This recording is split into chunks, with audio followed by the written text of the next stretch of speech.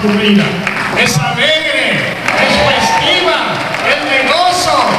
Y aquí está trayendo esta alegría a través de la música.